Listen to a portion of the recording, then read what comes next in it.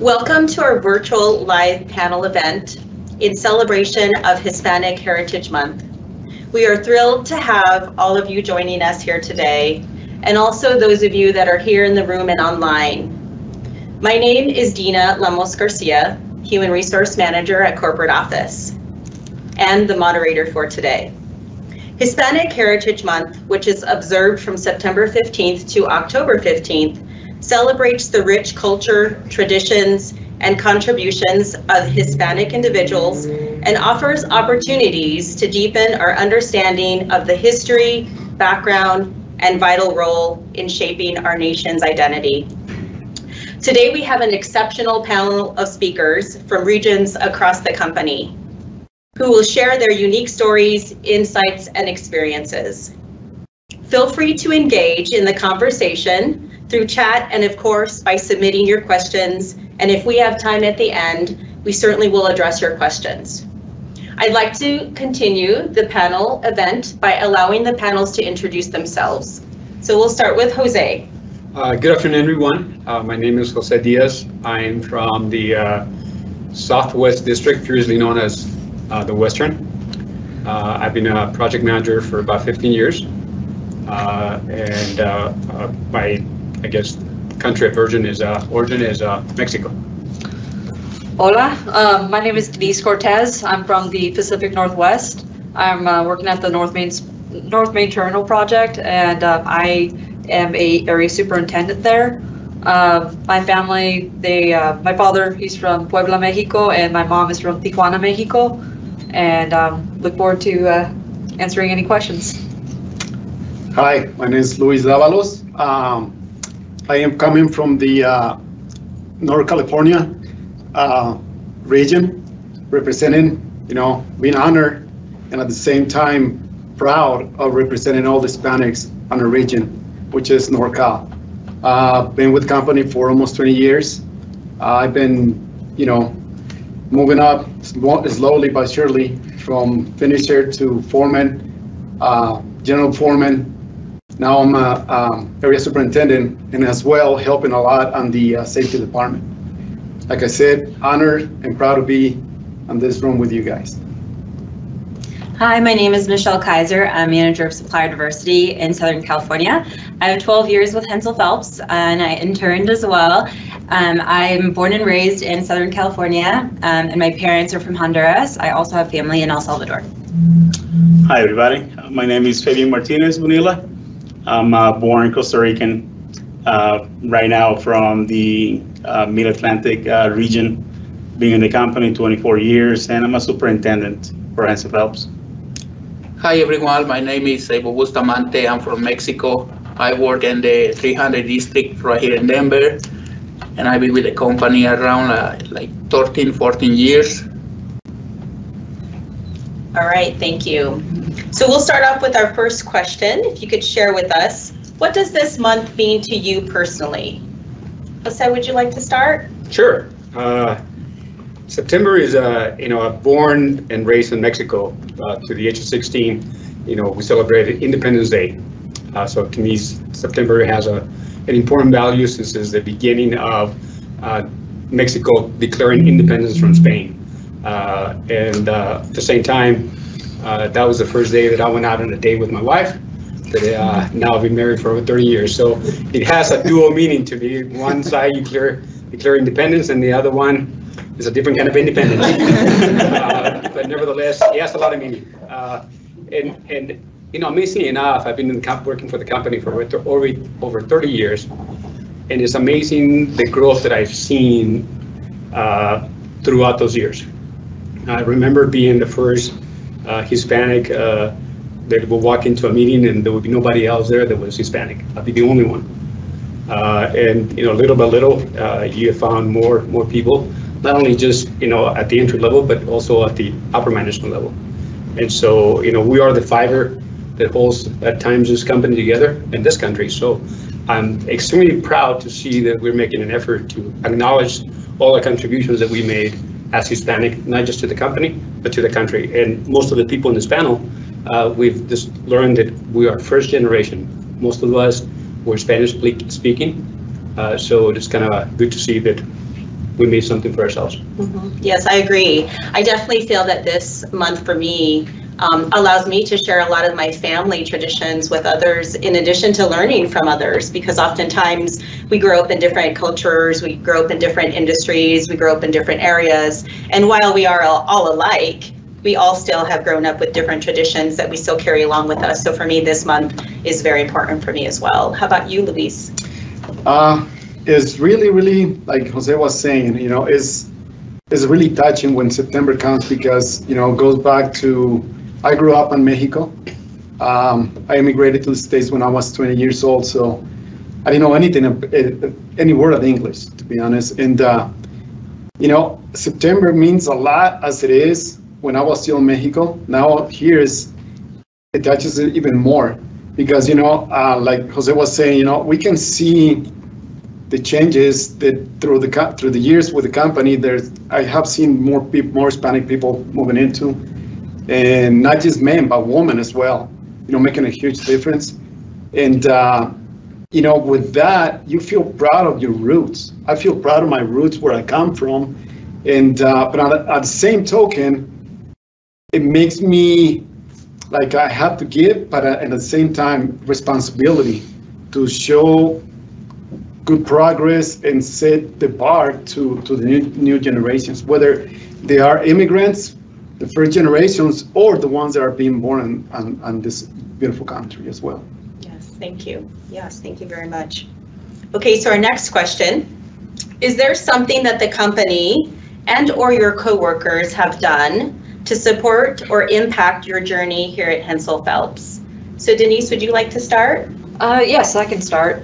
So I was an industry hire coming into Hensel Phelps. Um, I've now been with Hensel Phelps for almost five years now, and uh, it was quite intimidating coming to a brand new general contractor, seeing that I had already had seven years past experience with a different company. So it was a kind of a leap of faith that I did. Um, but what kind of really drew me with Hensel Phelps is that um, I was really impressed with not only just the diversity that I saw. Um, I wasn't the only girl in the project, um, so it, it provided that um, it was very refreshing to see and see being able to communicate with others and be able to have a connection right off the bat. Um, one of one of the first like construction projects that I had was at Martinez, and I worked under Eloy Garcia, who was incredible to work with. And uh, I remember he uh, had he had he had talked to me about what I was going to do, and then offered like, hey, let's go do a job walk, and and I show you where the site that you're going to manage. And right when we exit the office, he started talking to me in Spanish, and I was and it, felt it, it, helped me calm me down and helped me feel more at home there. And also with uh, working with the self-performed workers uh, the laborers the carpenters engaging with them in spanish. I'm very shy talking in spanish but uh, i feel a lot more comfortable talking to them and them being impressed and, and also supportive of me as well as i'm supportive of them. Um, it, it just made me feel like family around me so Yeah, I mean, if you really think about it, there's, we spend so much time at work that that's our second family, right? And, you know, sometimes if with that, within that family, you create another family. You know, uh, and again, you know, the company, there's some key uh, peers that that helped me through, it's been helping through my career. I can mention Mark Olson, you know, he was, you know, very important in my career because he saw the potentials on me and uh, he kind of pushed me a little. I don't know if you guys familiar with him, Mark Olson, but uh, you know, he gave me the, hey, you can do it. Don't worry about it. We got you. So that support that I felt within the company, the guys that were for me that were way up here and I'm way down there, you know, um, and I can see not just him but other guys. They just look and you know, my strengths and not my weakness because at the time, you know, my English it wasn't as good. Still, it's not good, but you know, it was. Yeah, so yeah, I, I have received a lot of support from from the company Good, that's great. members. Yeah. Yeah. Yeah, I, I have an experience too of, of feeling, you know, seeing where my strengths and my skills and my natural talents are.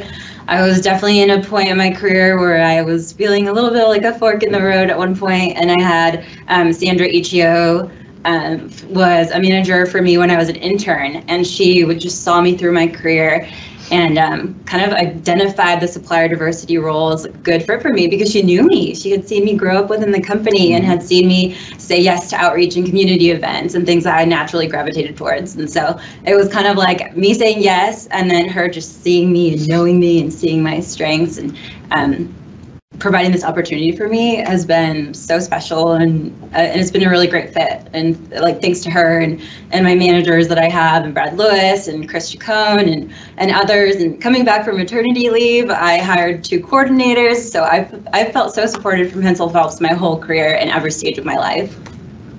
Thank you, thank you. Abel, would you like to add? Yeah, I like to to what I remember too when I really come to Hensel Phelps a long time ago. I don't speak any English and you know probably my boss have a hard time to send me with all the workers and I don't speak any English and I do whatever I want and know the the task they ask me. And later one day probably he he sees something on me, you know, and he tell me the name is Nacho. He tell me, hey, do you want to go to the English school?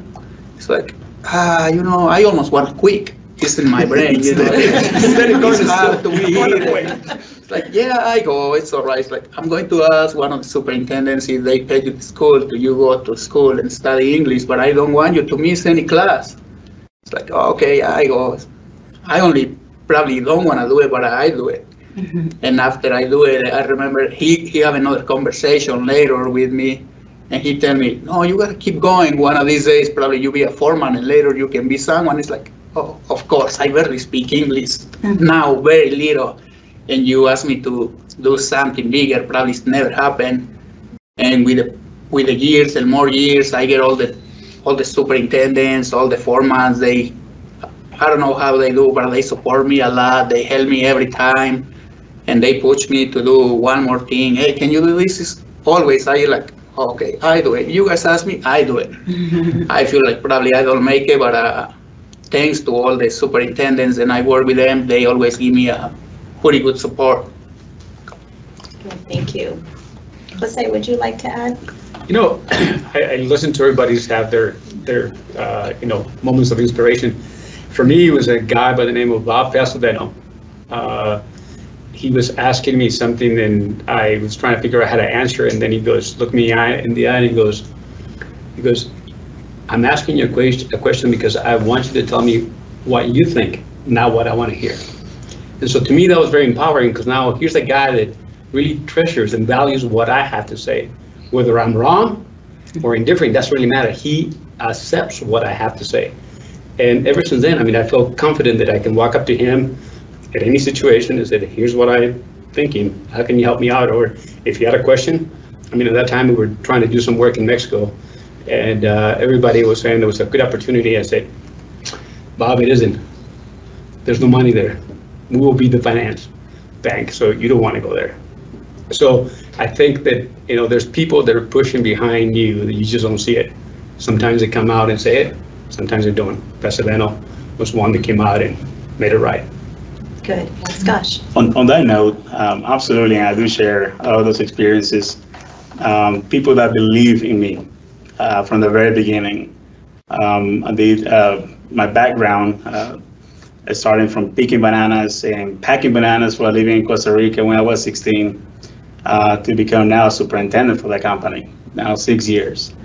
Uh, very humble begin- beginnings in Costa Rica, um, starting as a labor eight hour uh, labor back then, uh, 24 years ago, going through the ranks uh, as an apprentice, um, as a foreman, general foreman, and everything in between.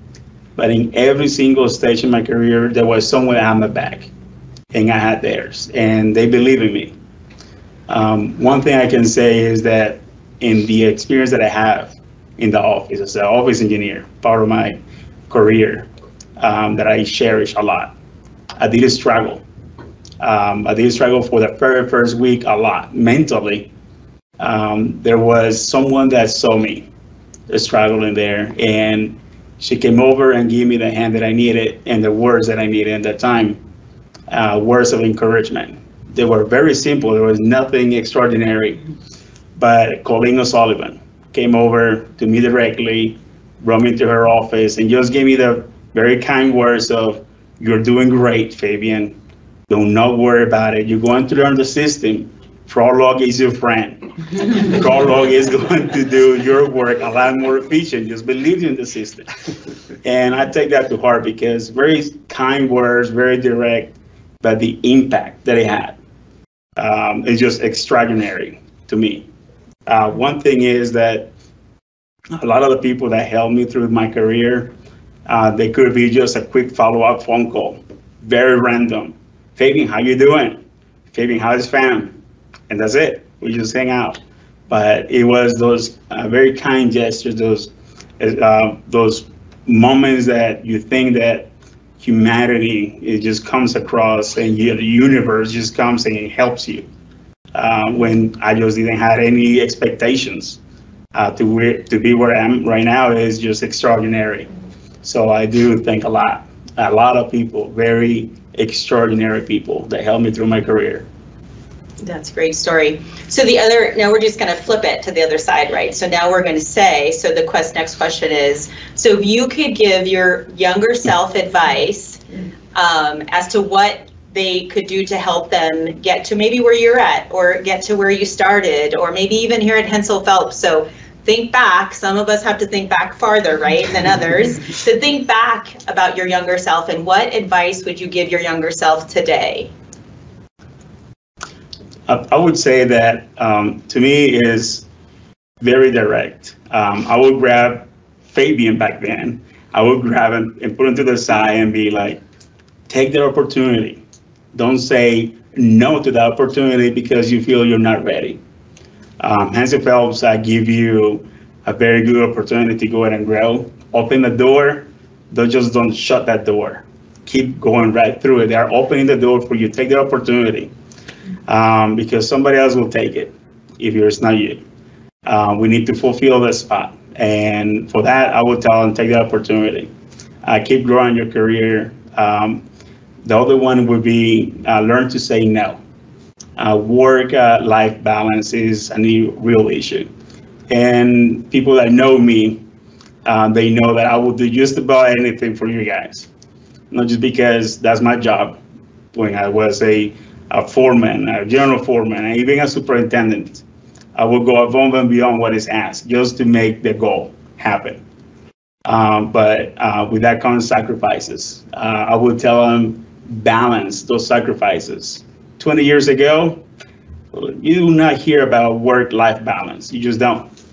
So I would tell them, uh, have a real conversation. Is it real necessary that I have to come in on a Sunday all over again for the third Sunday in a row? Can I have a break, please? Uh, but have those real conversations, uh, not all the time. We have to do this. And the other one would be um, have always everybody's back. Try your best to have their back. Uh, the new up and coming, uh, you know, new hire, field engineer that doesn't know what he's doing yet. Uh, just help him out, help her out, um, get ahead because that is going to be our future in the company. So just help them out because in, in my mind, every single body that has um, a position has a fellows as in a spot has a uh, seat in a table and have to go and embrace what they have to say. Um, I would tell I would tell them just keep doing the same thing that you do. Keep embracing everybody in that table. Uh, keep bringing people together. Don't change a thing. You're going to struggle. Keep through that struggle. Uh, but for sure. Yeah, I like one of the things that you said about family and um, trying to figure out your work-life balance. And I think from my culture, family is extremely important. And even though it's like our third cousin, Theo's third cousin's Thea, right? I think we, and they're having a fiesta and we want to go to it, it's still important to us because at the end of the day, we're all really first cousins, right? Or we're, we're sisters and brothers. And so helping us and help our work life understand that family is truly important to our culture. Um, and just for me, again, it's it's important to be able to share that. So for me, as I would help coach my younger self, I would say, make sure that you use your voice and you really explain and express what the, that culture looks like for you. And are we always going to be able to do that? No. However, there, you know, it is important. We want to be able to express that. And also to overcome that fear. So along that communication piece is that fear component where uh, it's scary to walk into a place and to use your voice, right? But it's uh, we need to do that. We need to start doing that, and this is a prime example of us being able to do that. So um, that's for me. Yeah. Now, for me, uh, if I could go back on time, uh, one of the things that I will tell the young Luis, um, education. Because, you know, the one thing that my mom and my aunt told me when I was younger, um, they knew I didn't have much education, right? So, but they told me you have you have to work hard every time. You have to give 100% every day, whatever it is. Whether if you're sweeping floors, whatever, whatever if you paint in a building, you have to give 100%. Whether someone someone watching or watching you or not. But they didn't really. Well, they told me about education, but I didn't really think about that.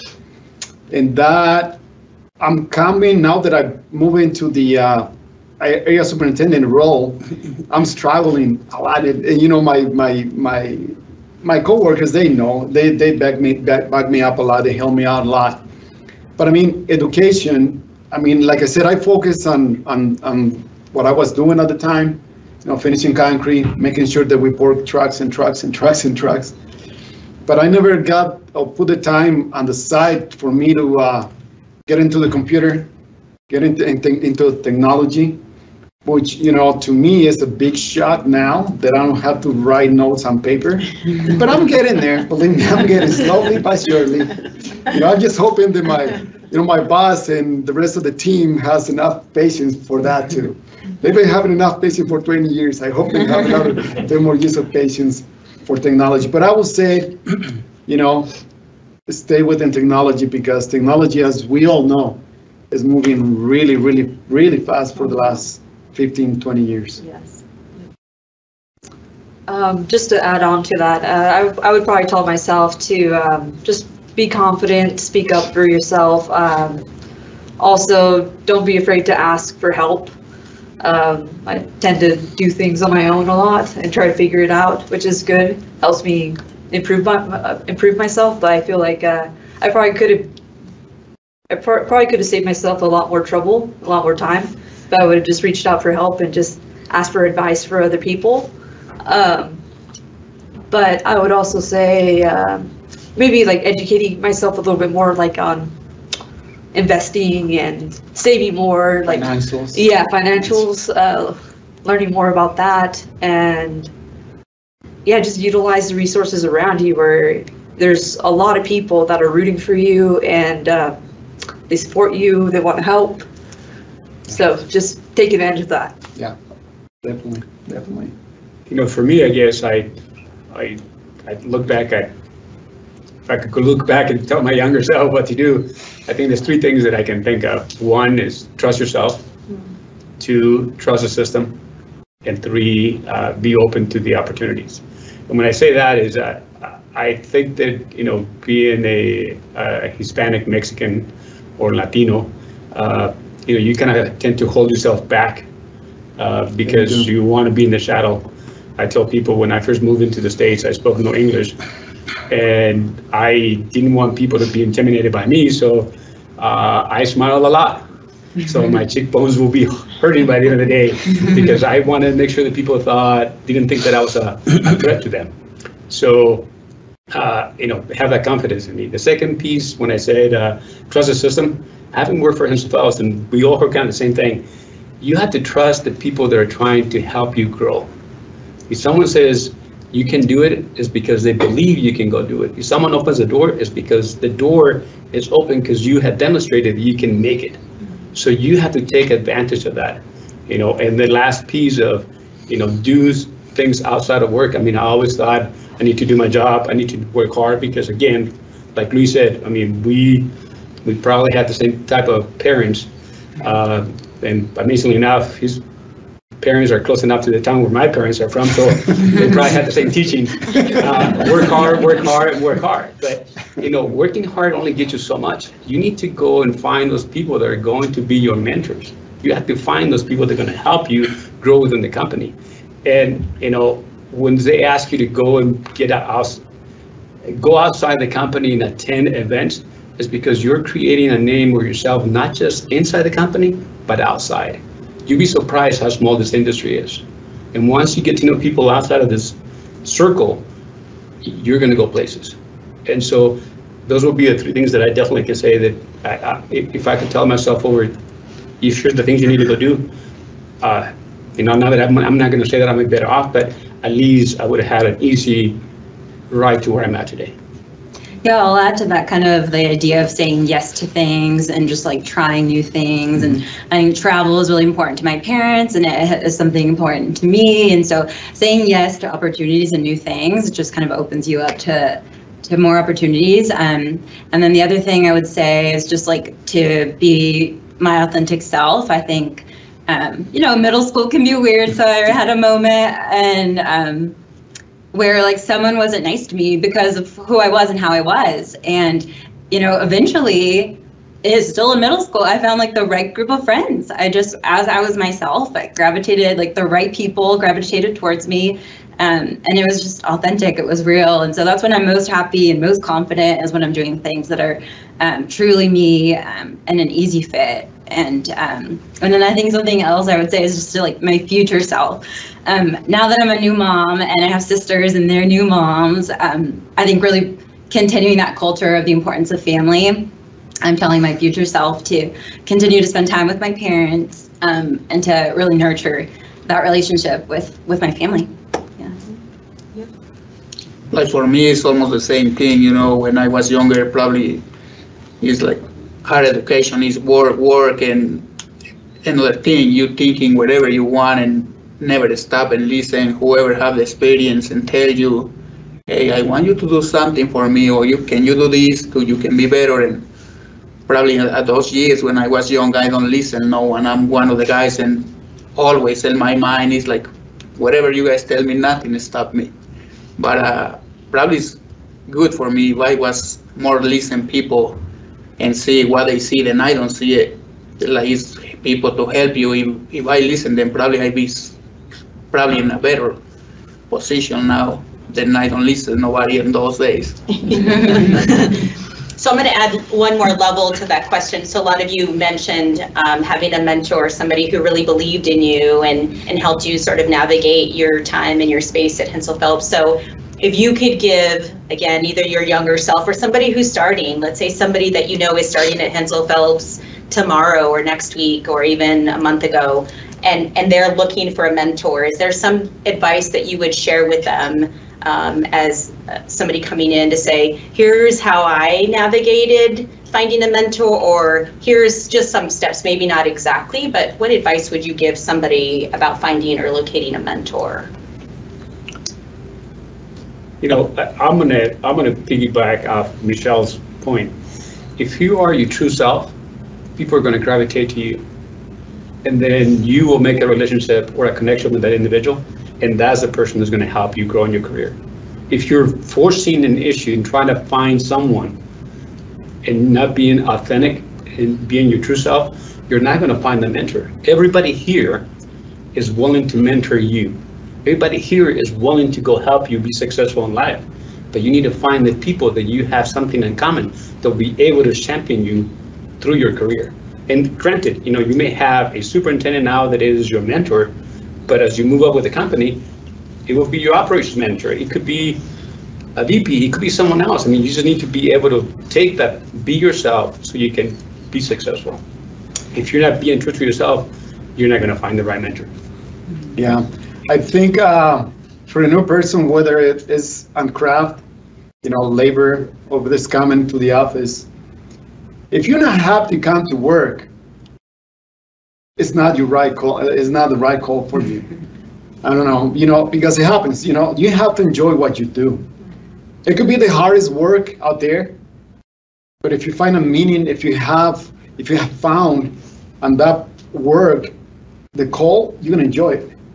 You know, I, I, you know, my original, my, when, when I, before I came to the States, I, I used to work on a foundry. When I came to the States, I, I thought in my head, well, I'm gonna find a foundry. And because I know how to, you know, how to melt bronze and aluminum and, and create parts and all that. But luckily, I never found a job like that. I found it on construction. But then again, you know, um, that's what my mom also taught me, hey, you need to enjoy what you do, you know? Do it as best you can, and not, not only do it the best you can, but try to do it better. And, you know, that's what I will do if, if you come as, uh, I don't know, technician on computers. And if it's not really enjoying it, you know, there's, maybe you have to kind of try to find something a little different. Or, you know, but uh, you really need to enjoy what you do. And, you know, that's going to open up the doors for you even more.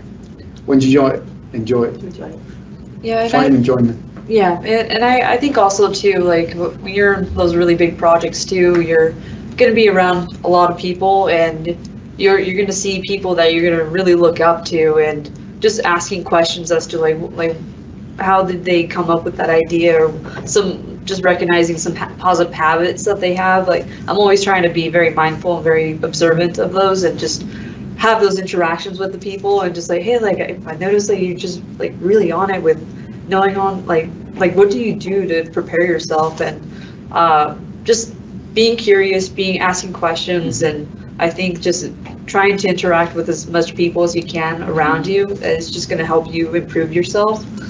Uh, I remember, I remember in college, I, I would just blush red, like whenever I had to speak in front of people, I couldn't really talk. Uh, but just with practice and just engaging with people and, and forcing yourself to get out of your comfort zone just helps you, eh, um, establish those, those, uh, relationships with people and build those friendships and outside of work too, where you hang out and, or be in the sports. Um, I, it's in one of my projects in Sacramento, I I put together a little, little soccer league where we would play pickup soccer with the interns and with a lot of the, anyone that wanted to go, they're more than welcome to show up. So just little things that you take this, try to engage and see if anyone is interested. I think that's just taking the first step forward and not just kind of waiting for things to happen. You gotta take action. I think that's very important to do. Yes, yeah, I agree. Yeah, okay, so this next question I think is a fun question. So what do you do to keep your culture alive? I I think that, to me, as a Costa Rican, if you do not know, it's okay to call us ticos. It's, it's absolutely a must. If you go to Costa Rica, learn to say pura vida. It means pure life. If you're gonna do that, that's fine. Pura vida is basically to hype an, an emotion, is basically to greet people, and also um, is, is a very a good thing to say and to learn if you're gonna go there. So you book your trip today, please. but a serious note is it's a good thing that I uh, I am who I am because my motherland, Costa Rica, uh, is is a place that made a call in 1945, if I remember right, um, to make the call to not have a military. Um, and to give that up in exchange of education and healthcare for everybody. And that's something that I cherish because uh, the values that we have here in the States um, is that we do um, better for others before us. So I do share uh, share that sentiment, and it's something that uh, as a Costa Rican and uh, enjoy the Caribbean side where I'm from. I just love to have the reggae and the rice and beans and stuff like that. But it's one of those things that I try to keep that up alive. I'm uh, sharing the culture with my wife, Salvadorian, and having the pupusas on a weekend or something is just that much more enjoyed. Um, and it's something that I, I cherish and share with others that, you know, that wants to go ahead and be part of it as well. Yeah. I think as Hispanics, uh, I think we all know we're known by we're loud. You know, we kind of loud. You know, you hear the mariachi, yeah. you know, it's just just it's just one point right there. But I mean, my neighbors, all my neighbors, uh, they kind of know me. Not really, really loud, but I mean, on Saturday and Sunday, they know where I'm out there. You know, because I got the uh, Spanish music on, whether it's mariachi, whether it's cumbia, whether it's salsa. And when they heard that I'm with the weed eater back there or doing some work and there's no music, couple of my neighbors, they already have asked more than one time, like, hey, Luis, are you okay? And one time I come up, yeah, I'm okay. Why? What's going on? Well, well, we don't hear, we hear you working back there, but we don't hear no music.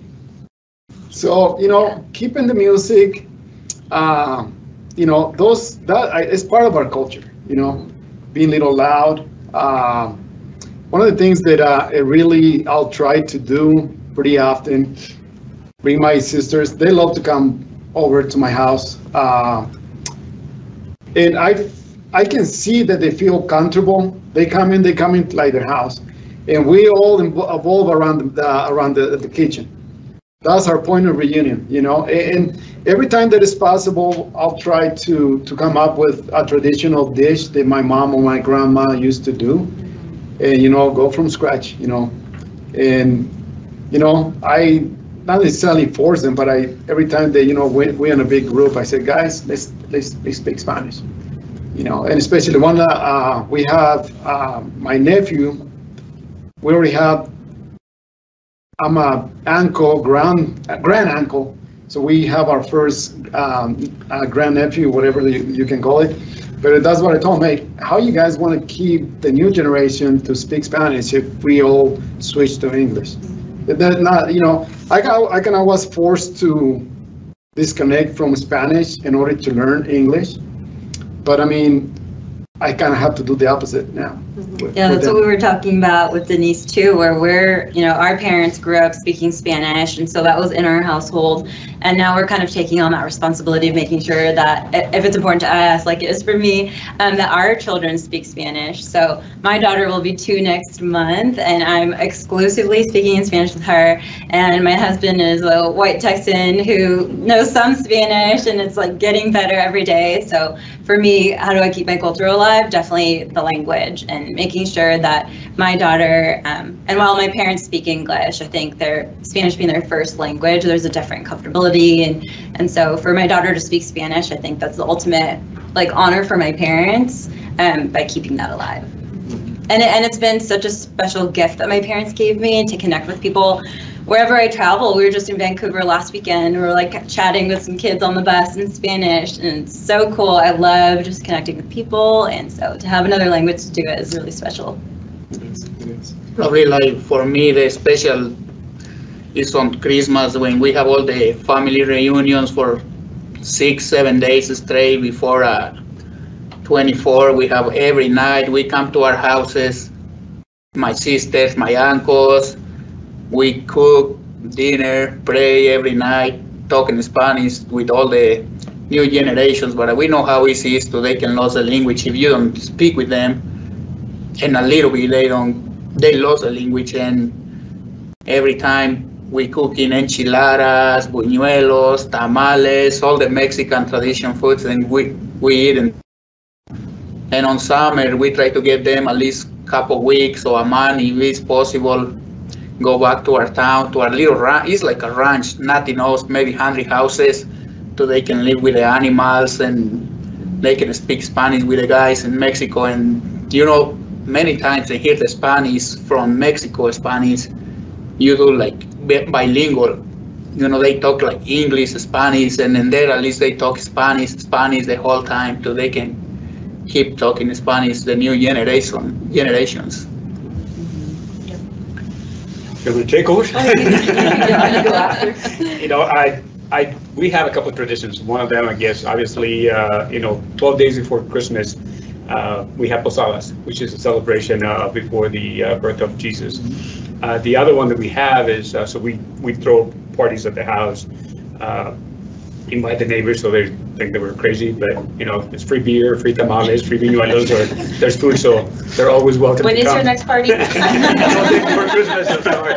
Uh, But uh, the one that our kids, uh, that we started since they were, since they were born, uh, we celebrated the arrival of the three kings.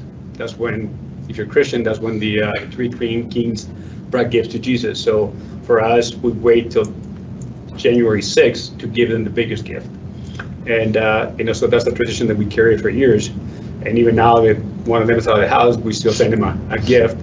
Uh, But the interesting thing is that, you know, they will go back to school and then they will talk about what they got for Christmas, and my kids go, "Oh, I got this for Christmas, but I got this for the Three Kings." I'm like, what?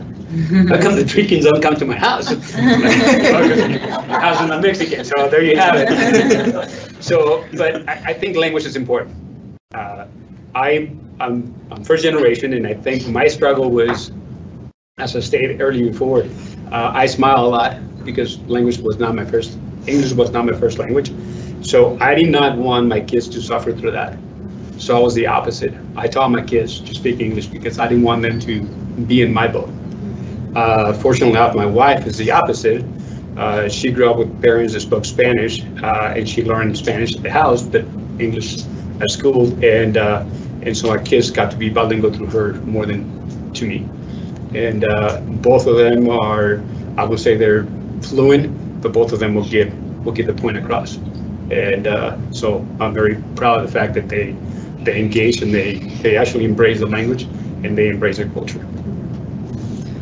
Yeah, and for me, uh, I mean, just trying to continue practicing uh, my Spanish. That way I don't forget it because my parents are the main people that I talk to in Spanish all the time.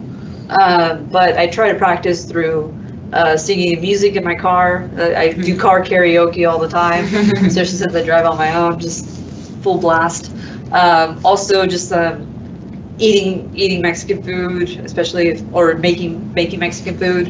Um, if I ever feel homesick, um, but like uh, watching films in, in Spanish as well, just trying to keep that alive and uh, it, because it's such a beautiful language, it's very poetic. Uh, there's a lot of emotion behind it, and uh, you make you make really great connections with people. So it's something that I don't want to lose and want to co- continue to keep alive.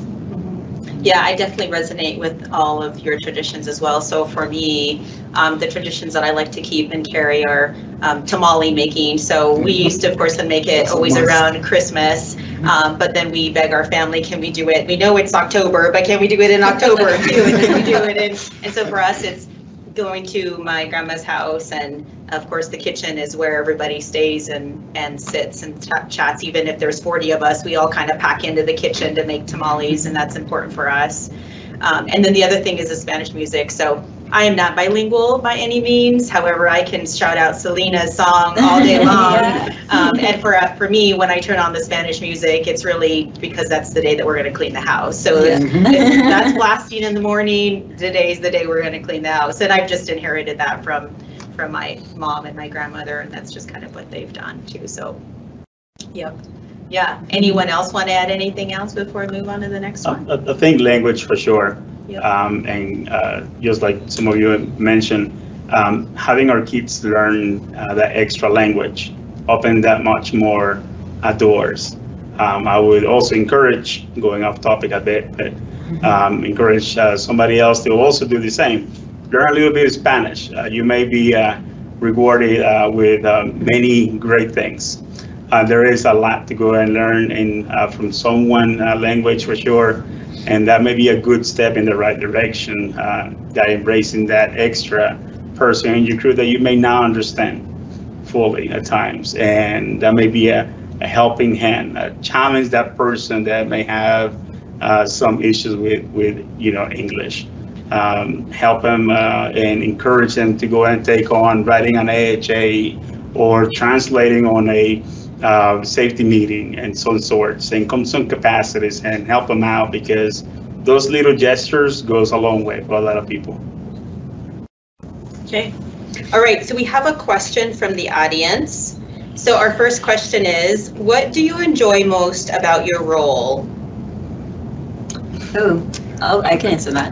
Um, so I kind of touched on the fact that I feel like this role in supplier diversity is very true to my natural like strengths and talents. And I kind of talked about how I value Spanish and as a way to connect with other people. So I feel very lucky to be in this position, to be an ambassador for Hensel Phelps, a company that I very much believe in. And I think everyone that works at Hensel Phelps is amazing. I think the leadership is amazing. Um, so I'm very proud to be in the role that I'm in, and I think it's a really great fit. And I think it's a testament to Hensel Phelps um, that I'm in it and that it's such a good fit.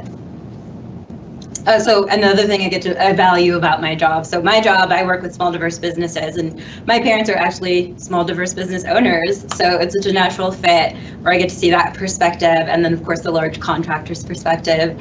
Um, so that's really cool. And then other another side of my job is workforce development, um, and we have a lot of unions in Southern California. So I get to help people um, get a career and change their life and their family's life, um, get a healthcare and retirement plan. Um, all of that is really, really cool and exciting for me. So I'm, yeah, very happy to be in this role. I was going to add too that uh, as an area superintendent, um, it's very rewarding for me, and it's also very. Uh, I feel that I'm empowered a lot uh, to make a lot of great decisions and also take on a leadership role. Um, something I didn't quite felt comfortable at first, but um, going through that challenge and also having a great a great team around me that's constantly pushing me forward, and um, people around me, superintendents and and other area superintendents who I can freely go to to seek advice and get get get get their thoughts on what whether hey like I'm thinking about doing this like what what are your thoughts? What have you done in the past it's really great to know that I have such a great supporting team that I can go to and ask for advice and just kind of if I'm having second guesses uh, I can feel comfortable and have that conversation. And um, it's really great to see it's a re- it's a rewarding experience to see that you see little milestones that you achieve on the project. You see it physically happen and it's it's it's great to know that I was part of that and and um, also with the scheduling get putting those activities together and and kind of orchestrating all the uh, all the trade partners to work together trying to be proactive. It's um, it, it's a really fun experience. It can be challenging and uh, and long but I think uh, at the end of the day it's always really really re- rewarding.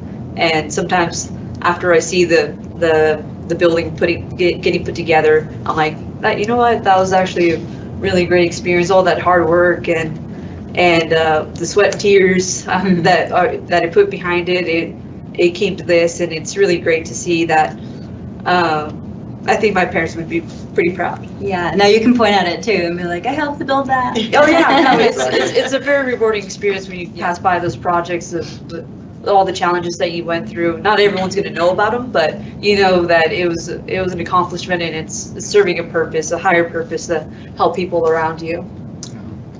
One of the things that I really enjoy uh, with my the role that I, I play now is that uh, you know I go back to where I started on the industry when I didn't know any English at all, and there you know there's still a lot of people uh, on our industry that they're not bilingual. They're not necessarily that I am a bilingual 100%, but you know I I'm way better than when when I started, and I can make the difference because a lot of times guys don't know better they're new to the industry, and uh, you know, I feel really good and feel it feels really.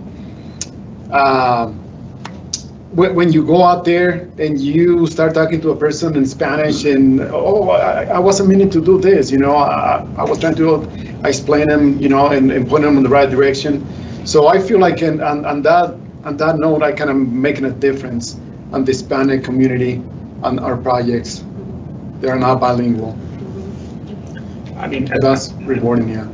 I'm being in the industry, I mean, one of the things that I think everybody can be proud of it is pointing at something and say, that's, I did that, or I built that. And you can ask my kids all the projects that I've done, because I've driven them by and said, Dad did that, Dad worked on that, Dad did this. Uh, But at the same time, I mean, when I think outside of work, the flexibility that, that my position that allow me to do. I mean, it gives me the opportunity to go and mentor high school students. Uh, It helps me mentor the young, uh, new graduates from the universities. So, you know, you're opening the door because, you know, you, we talk about such a true statement of find your replacement and create your replacement. And so, you know, by, by finding the individuals to go help them grow, uh, they'll take the company to the next level and and reassure that we will be here and the company will be here, you know, for the centennial, which is in 2037. So, you know, I think I value that, you know, having a job is great, uh, doing what I do is great. But I think empowering those people to make decisions and be someone at SFOs is probably very rewarding. like for me, it's something that I be between in the field and the office now. You know, I start working a little bit in the office, a lot on the field, and I see all the trades, all the problem. I see all the problems in the office and all the solutions, everything, and all the guys have a lot of questions. And with the little information I get from here and there, I can help all the trades in the field and all the new FEs. I, you know, it's something that I love it, and they come with sometimes from college and they they come from college with not too much experience in the field and help them all the time they have a lot of questions and they they don't have sometimes somebody else you know they have the superintendent and tell them what they do but uh, they afraid to talk to the superintendent but they say oh this is my boss. If i ask something to him maybe he think i don't know anything. And they come probably through me and they say oh this, this guy is in the field. Maybe he don't know but uh, at least he don't yell at me if i ask a question to this guy. You know anything i ask probably he don't know but uh, he helped me. And it's something that i like it and they always come and ask a lot of questions and and me too, you know, I ask more probably than them, but uh, they come and ask me a lot of questions too. Uh, to me, is uh, area superintendent is very rewarding experience uh, position. Uh, obviously, with the uh, assistant of my upper management, uh, having that backup they gave me every single day out there is essential. Um, the fact that I'm there to mentor the new generation of builders, the new field engineer, the new office engineer, is absolutely exactly what I want to do. Just help them right through the struggles that I, I did myself and went through. I want to be there to help them and grow. And I always tell them, um, it will make my day if you become my boss. It's just that extra and gratification that, oh my God, I did my job that extra more better. And it's just very fun. And I'll try to make uh, the uh, the trade partners to be very comfortable with us to come over and help me get through this and trying to become that bridge in between as us starting in the office to making it happen in the field and making it happen. But um, I always go around always saying that good morning and good, the good afternoons, always making the effort that you will remember me. I am your man. You come to me, I'll go ahead and find a solution. I will help you, whatever you need but it might be the other way around. The trade partner is the specialist, the professional at what they do. So I go around my way of saying, do you mind helping me understand this? Because I, know, do not understand. And, and having that, that, that seat in the table when it comes down to coordination meetings is very powerful. Uh, my, and I do share my background. Again, packing bananas background has nothing to do with construction, and here I am. Hensel Phelps gave me that and it's something very empowering to me, and I share that with great pride. Um, with the trade partners and some other designers as well. And, um, and I'm there because Phelps entrusted me to do this and what I'm doing right now, and I'm loving it. Yeah, that's so awesome to hear from everyone. Okay, here's our next question from us, one of our viewers. How can colleagues help celebrate your culture year round? Get a taco truck.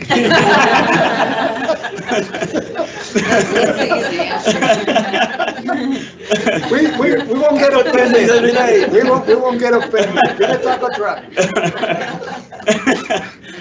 Oh, good. I, I think, you know, understanding our culture, you know, Yes. we are very family oriented. Mm-hmm. We are a very closed unity. You know, people said, I need to take the month of December off to go to Mexico, and you kind of go, why? Because they, that's when most Mexicans get together and party. Remember talking about the 12 days? So we as Americans don't quite understand that. And now I say Americans because I have lived here longer than I lived in Mexico, so therefore I'm now a Mexican American. Uh, But family is very important to us. You know, most people think that Cinco de Mayo is, you know, Independence Day, when it It's isn't. not. It's just a battle that Mexico won against the French, but that's it, nothing more than that. But yet, the, the, the misnotion of that being a, an important day to Mexico, it is, but it is not celebrating independence. So I think embracing us, trying to understand who we are and where we come from makes a world of difference. I mean, again, we are a fiber that makes this company so great. You know, you got people from El Salvador, you got people from Puerto Rico, I mean, uh, Costa Rica, you got people from Mexico, you got people from Honduras. I mean, we all make this wonderful company what it is.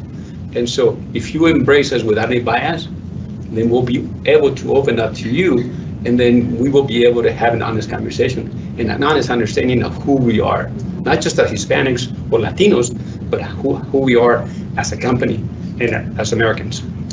This is a great step towards that. I mean, you know, like I said, it's, it's uh, recognizing, you know, at, at this level, it's, you know, it's gonna make a huge difference on all of us. It already is, you know? Yeah. Okay, yeah, did you want to add something to that, Fabian? Um, I was gonna say, um, and I do share that sentiment, um, try to understand us. I know there is a, the language barrier at times. Um, like, like I was saying before, help yourself, learn a word a day, and that will go a great deal, um, when it comes down to communication. Um, and again, giving, giving the challenge to someone who's, uh, having some trouble, uh, help them out. Um, but for sure, uh, understanding us that we are all different, have all these things to go ahead and share and provide, it just makes us that more stronger and the building together is part of what we are. Yeah, I would add on to that too and piggyback with what you all said. And so when we talk about understanding us, um, we are still individuals. So even though we represent the Hispanic Latinx population, we all still carry our individual components and strengths and traditions that we bring to the table. So while understanding the culture, it's understanding us as an individual, right? Because we all are still different in, in various ways. So I agree. I think that um, just appreciating that some of us may celebrate different things and different um, historical components and traditions, um, even though we all might look alike and maybe we all talk alike, but we all still are very individual in our own person. And so just recognizing that I think is important as well. Yeah, I agree. I actually talked to my sisters about the panels. Like, these are some of the questions, like, how would you answer? And they, you know, we didn't have exact answers, even though we grew up in the same place, in the same house, um, and some of the same traditions. I think we're experiencing the world in different ways, even. My older sister has two kids, and um, they're not speaking as much Spanish. It's like, that's really important to me personally. Um, and so I think it is a good point that while we do have a lot of shared experiences, we're individuals, and the way that we experience life is different. Yep. Okay, we have time for one more question. So what is your perspective on the opportunities provided through DEIC and building together? Say that again? Can you repeat that question? Yeah, this, yeah. Uh, What is your perspective on the opportunities provided through DEIC and building together? I think it's a voice. Yeah. Each one of us has a voice, um, no matter your background, doesn't matter who you are, who, how you identify yourself, you have a voice. And Hensel Phelps is providing you that seat at the table again. Um, is that the exceptionalism that Hensel Phelps brings uh, to the construction industry, and that one that I, uh, I'm a HP for life. It don't matter. um, I can tell this is is very rewarding uh, having um, upper management always open those doors even more wider every single time we make changes to provide for everybody and have everybody be included as well. Thank you. So as we wrap up this remarkable event celebrating Hispanic Heritage Month, I want to extend my heartfelt gratitude for the wonderful panelists. We've had the privilege of hearing captive stories, gaining insights, and deepening our appreciation for the diverse and vibrant Hispanic heritage. Let's carry on the spirit of the celebration forward in our workplace and beyond, embracing the values of inclusion, respect, and understanding. Together, we can continue to build a stronger and more inclusive community. Remember, Hispanic Heritage Month is not just about dedicating a few weeks to celebrate, but a reminder that our shared cultural tapestry is year-round. Let's keep the conversation going, keep learning, keep celebrating the unique journeys that make us who we are. Thank you once again for joining us and have a great day, everyone. Thanks. Thank you. Thank you. Thank you.